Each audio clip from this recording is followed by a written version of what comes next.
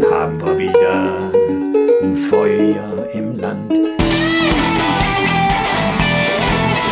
Surrounded by the stars.